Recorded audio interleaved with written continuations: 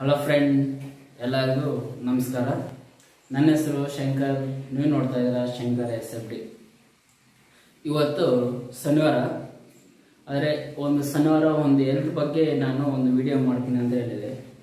ಇವತ್ತು ಆ ಹೆಲ್ತ್ ಬಗ್ಗೆ ಮಾತಾಡೋದಾದರೆ, ಇವತ್ತು ನಾನು ಕೆಲವೊಂದು ಕಾಳುಗಳು ನಿಮ್ಗೆ ತೋರಿಸ್ಕೊಡ್ತೀನಿ. ಅವನ್ನೆಲ್ಲ ಹೇಗೆ ತಿನ್ನಬೇಕು ಮತ್ತು ಹೇಗೆ ಮಾಡಬೇಕು ಅನ್ನೋದನ್ನು ನಾನು ಮತ್ತೊಂದು ವಿಡಿಯೋದಲ್ಲಿ ತೋರಿಸ್ಕೊಡ್ತೀನಿ. ಈಗ ನೀವು, ಆ ಕಾಲುಗಳು ಅಂದರೆ ನಾನು ಹೇಳೋ ಕಾಲುಗಳು ನೀವು ಪರ್ಚೇಸ್ ಮಾಡಿ ಮಾಡಿದ್ದೀರಿ. ನೆಕ್ಸ್ಟ್ ಸಾಟರ್ಡೆ ವಿಡಿಯೋದಲ್ಲಿ ಅವು ಹೇಗೆ ಮಾಡಬೇಕು ಅನ್ನೋದನ್ನು ನಾನು ತಿಳಿಸ್ಕೊಡ್ತೀನಿ. ಮೊದಲಿಗೆ ಸೋಯಾಬೀನ್. ಅದೇ ಇದು ನಾವು ಪರ್ಚೇಸ್ ಮಾಡಿದ್ದೀವಿ. ಸೋಯಾಬೀನ್. ಸೋಯಾಬೀನು ಅಂದರೆ ಕಾಲು. ಇದೊಂದು ಕಾಲು ನೀವು ಪರ್ಚೇಸ್ ಮಾಡಬೇಕಂತೆ. ಅಂದರೆ ಇದು ಕಾಲುಗಳು ಬಂದ್ಬಿಟ್ಟು ಡೈಲಿ ಇವೆ ಒಂದೊಂದು ದಿನ ಒಂದೊಂದು ಕಾಲುಗಳು ತಿನ್ನಬೇಕಾಗುತ್ತೆ ಇವು ಮೊದಲನೇಗೆ ಸೋಯಾಬೀನು. ಮತ್ತು ನೆಕ್ಸ್ಟ್ ಕಾಲು ಬಂದುಬಿಟ್ಟು ಅಲಸಂದ್ರೆ. ಅಲಸಂದ್ರೆ ಕಾಲು. ಆಯ್ತಾ? ಈ ಅಲಸಂದ್ರ ಕಾಲನ್ನು ನೀವು ಪರ್ಚೇಸ್ ಮಾಡಬೇಕು ಇವಾಗ ಅದನ್ನು ನೀವು ಸೋಯಾಬೀನು ಸೋಮವಾರ ತಿಂದರೆ ಇದನ್ನು ಮಂಗಳವಾರ ತಿನ್ನಬೇಕಾಗುತ್ತೆ ನೆಕ್ಸ್ಟ್ ಕಾಲು ಬಂದ್ಬಿಟ್ಟು ಕಡಲೆಕಾಳು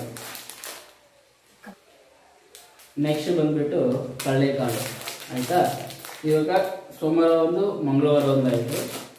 ಕಾಲು ಬಂದ್ಬಿಟ್ಟು ನೀವು ಬುಧವಾರ ತಿನ್ನಬೇಕಾಗುತ್ತೆ ಆದರೆ ಇವನ್ನೆಲ್ಲ ಹೇಗೆ ರೆಡಿ ಮಾಡೋದು, ಹೇಗೆ ತಿನ್ನಬೇಕು ಅನ್ನೋದನ್ನು ನಾನು ನೆಕ್ಸ್ಟ್ ವಿಡಿಯೋದಲ್ಲಿ ತೋರಿಸ್ಕೊಡ್ತೀನಿ. ಇವನ್ನೆಲ್ಲ ಮತ್ತೆ ಬಂದ್ಬಿಟ್ಟು, ನಾಲ್ಕನೇ ಬಂದ್ಬಿಟ್ಟು ಕಲ್ಲೆ ಬೀಜ. ನೀವು ಕಲ್ಲೆ ಬೀಜ. ಅಂದರೆ ನಾಲ್ಕನೇದಾಗಿ ಕಲ್ಲೆ ಬೀಜ ನೀವು ತಗೊಬರ್ಬೇಕಾಗುತ್ತೆ. ಇವು ನಾಲ್ಕನ್ನು ನೀವು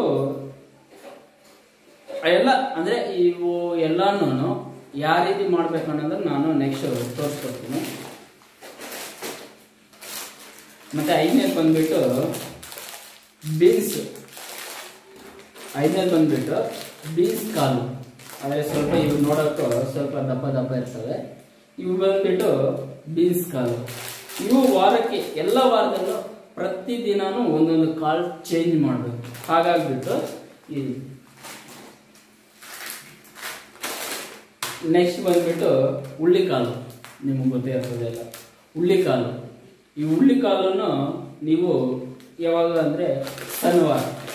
ಅಂದರೆ ಹುಳ್ಳಿಕಾಳು ಬಂದ್ಬಿಟ್ಟು ನಾವು ಶನಿವಾರ ತಿನ್ನಬೇಕಾಗುತ್ತೆ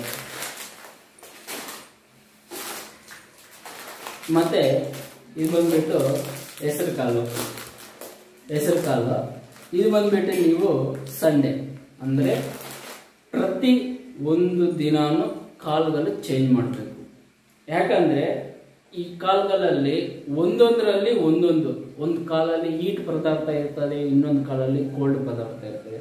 ಮತ್ತೊಂದು ಕಾಲದಲ್ಲಿ ಬಾಡಿಗೆ ಎನರ್ಜಿ ಕೊಡುವಂಥ ಕಾಲುಗಳಿರ್ತವೆ ಹಾಗಾಗ್ಬಿಟ್ಟು ನಾವು ಡೈಲಿ ಒಂದೇ ಕಾಳು ತಿಂದ್ವಿ ಅಂದರೆ, ಇವಾಗ ಸಪೋಸ್ ಇವಾಗ ಹೆಸರು ಬೇಳೆ ಡೈಲಿ ತಿಂದ್ವಿ ಅಂದರೆ ನಮ್ಗೆ ಏನಾಗುತ್ತೆ ಬಾಡಿ ತುಂಬ ಕೋಲ್ಡ್ ಆಗುತ್ತೆ.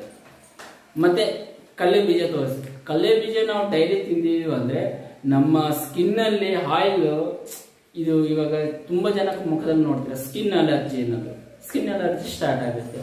ಆ ತರ ಒಂದೊಂದು ಕಾಲದಲ್ಲೂ ಒಂದೊಂದು ಈ ವಿಧಾನ ಇರ್ತದೆ. ಹಾಗಾಗ್ಬಿಟ್ಟು ನಾವು ವಾರಕ್ಕೆ ಅಂದ್ರೆ ಒಂದೊಂದು ಕಾಲನ್ನು ತಿನ್ಬೇಕಂದ್ರೆ ನೆಕ್ಸ್ಟ್ ವಾರ ಗಂಟ ವೆಯ್ಟ್ ಮಾಡಬೇಕು. ಹಾಗಾಗಿ ಇದನ್ನು ನೆಕ್ಸ್ಟ್ ಹೇಗೆ ರೆಡಿ ಮಾಡಬೇಕು ಅನ್ನೋದು ನೆಕ್ಸ್ಟ್ ವಿಡಿಯೋದಲ್ಲಿ ನಾನು ನಿಮಗೆ ತೋರಿಸ್ಕೊಡ್ತೀನಿ. ಎಲ್ಲರಿಗೂ ನಮಸ್ಕಾರ. ಈ ವಿಡಿಯೋ ನಿಮ್ಗೆ ಇಷ್ಟ ಆದರೆ ಲೈಕ್ ಮಾಡಿ ಶೇರ್ ಮಾಡಿ ಕಮೆಂಟ್ ಮಾಡಿ.